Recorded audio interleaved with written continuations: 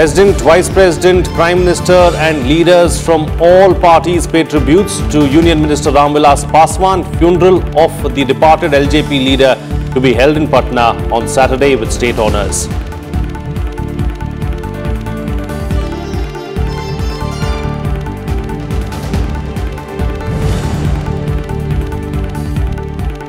Nomination process starts for the second phase of Bihar Assembly elections, voting for 94 seats in this phase to be held on the 3rd of November. First phase of voting on the 28th of October.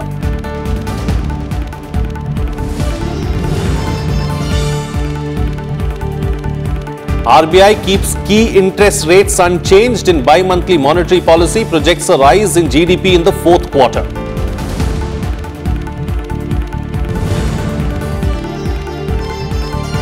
Active coronavirus cases come down below 9 lakh for the first time in a month. Number of recovered patients exceeds new cases for the third week in a row.